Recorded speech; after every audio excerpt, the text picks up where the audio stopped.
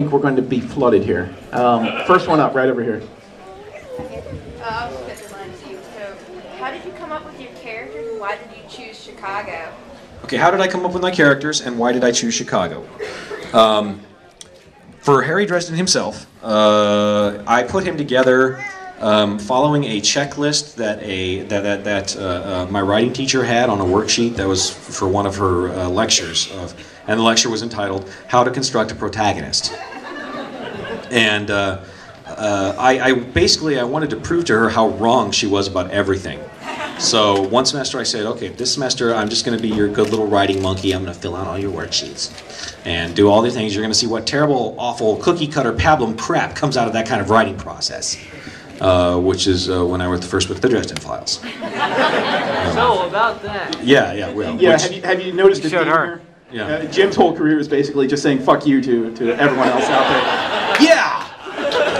Yeah, I've, I've. th- th- That's why I'm, I'm, I, I try and not be the guy who takes myself too seriously because, you know, I'm basically this idiot that's just stumbled into things and uh, uh, gotten a little bit lucky, and then, and then, at least I like to think that I recognized I had gotten lucky and, and worked really hard to make it happen. Uh, but, but Harry Dresden, the name itself, I was watching TV one night, and uh, uh, there were I, I had just watched a, a videotape of one of my favorite movies uh, uh, at the time, which was uh, Cast a Deadly Spell, and the yeah, it was, a- it's, which is a fun movie, and uh, the tape had, spot, had had had started skipping or not skipping, but it got it would stop, and I would rewind it, try and play past it, and it wouldn't go past. But at this part where in in, in that movie where the guy goes, uh, the main character, Fred Ward's character, uh, uh, H. Philip Lovecraft, shows up to. Uh, uh, to the to the gangster bar, and the gangster the, the gangster's henchman comes walking up to him and says, "Hey Harry, Harry wants to see you," and and Fred Ward goes, "Oh, Harry wants to see me. Harry wants to see you now." And, and, and then what I got to hear about six times as I tried to fast forward past the stuck part of the tape was Harry wants to see me. Harry wants to see me. Harry wants to see like that. Um, and then I said, okay, heck with that. I'm gonna have to try and find something on normal television, which I hate because there's commercials. And uh, so I'm skipping through channels. It's like 11:30 on uh, a Friday night in Kansas City, and, and I actually find a channel that's showing uh, reruns of Babylon 5. It's like, okay, acceptable. Uh, and I'm watching uh, Amazon, uh, the episode of Amazon 5, and you know, with this Harry wants to see in, in my head. And then uh, Boxleitner is on there playing his character with the gravelly Boxleitner voice, and, and he's there. He's there talking about uh, various military attacks that have happened throughout history. And one of the attacks that he mentions as he's going through this monologue is Dresden. Harry wants to Dresden. It's just stuck in my head. Harry wants to Dresden. I'm like, okay, fine. Harry Dresden, character name. Get out of my head. And that's where the name came from. Um, when I put the character together, I said, okay, this guy is a wizard detective. Uh, so I said, okay, let's take a wizard, Gandalf. Let's take a detective, Sherlock. I mean, I mean, come, on. I, I could not get any more obvious in terms of you know picking archetypical choices, and, and started uh, pulling these a- attributes from each of them. So I made him tall and skinny like Sherlock, and, and, and grumpy like Gandalf. You know, smart and grumpy like Gandalf, and uh, that was pretty much where the character came from. Chicago. Murphy, I needed somebody who was his, uh, uh, you know, who was going to be sort of an ally slash uh, uh, opponent and antagonist in the first book.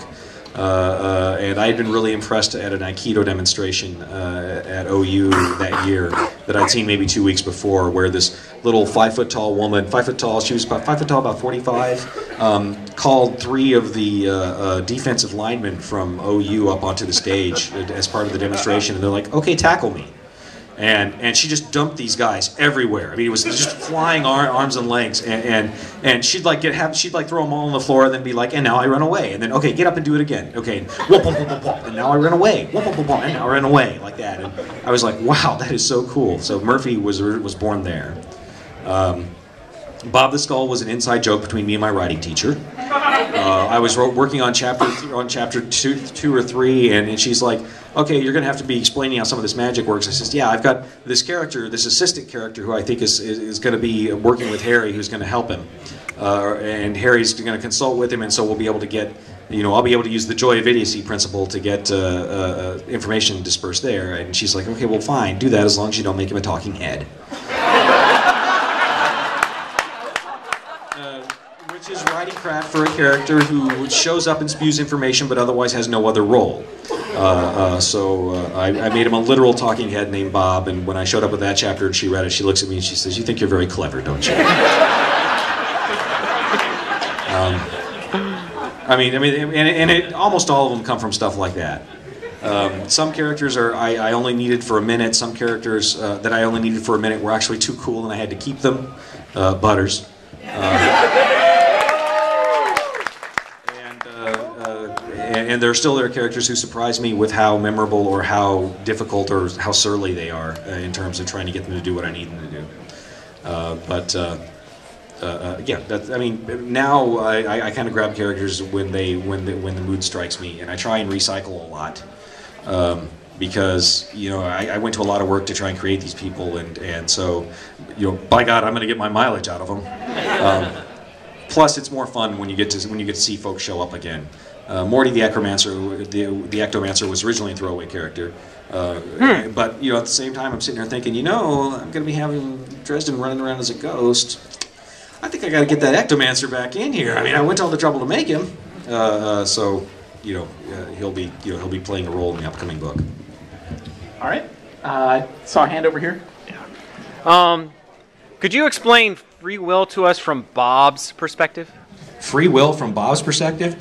Bob thinks free will is a complete illusion uh, uh, since he doesn't really have it. Um, uh, that, that mortal, it's a conceit that mortals uh, have that, to make themselves feel like they can be in control of things. Uh, uh, but really, it doesn't actually exist. That's Bob's take on it. Um, uh, but then again, as I said, Bob doesn't really have free will. He sort of. Uh, he said up. that Lash got it. What? He said that Lash got it. Lash isn't Bob. no, well, no, but he said Lash got obtained free will. Yeah, Bob doesn't have to tell the truth to Dresden. I mean, come on.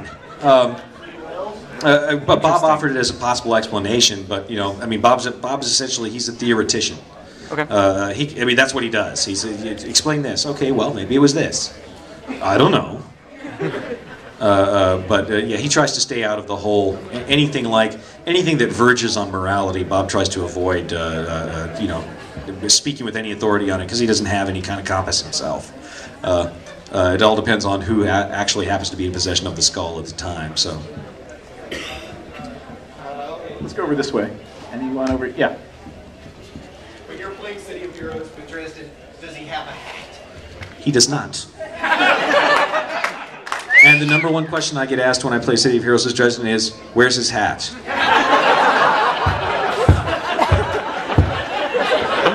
Read the book. Um, uh, Yes, what happens when Bob gets let out of his skull? Uh, uh, when Bob gets let out of his skull, um, whatever he can get away with, basically. that's why Dresden's usually careful to throw some terms on there. Uh, although, although uh, uh, uh, depending on, on, on who lets him out and what gets done, we're going to have some more fun with that next book. I'm not going to say anything else. Why does Toot Toot keep getting bigger? Why does Toot Toot keep getting bigger? Why does Toot Toot keep getting bigger? Pizza. yeah, okay, that's a good answer because I'm not going to tell you. Um, I, I, will. I will tell you, however, that uh, uh, the she don't start out as she, and leave it at that.